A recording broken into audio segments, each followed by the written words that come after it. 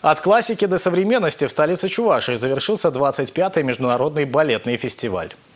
Формат гала-концерта позволяет показать поклонникам этого вида искусства самые лучшие балетные номера. Открытием фестиваля стал дуэт лауреатов международных конкурсов Елены Черновой и Андрея Сорокина из Санкт-Петербурга. Особая легкость и чувственность артистов заставили зрителей по-новому взглянуть на известные фрагменты из спектаклей «Сильфида» и «Дон Кихот». Артисты чувашской труппы, в свою очередь, представили отрывки из классического балета «Корсар».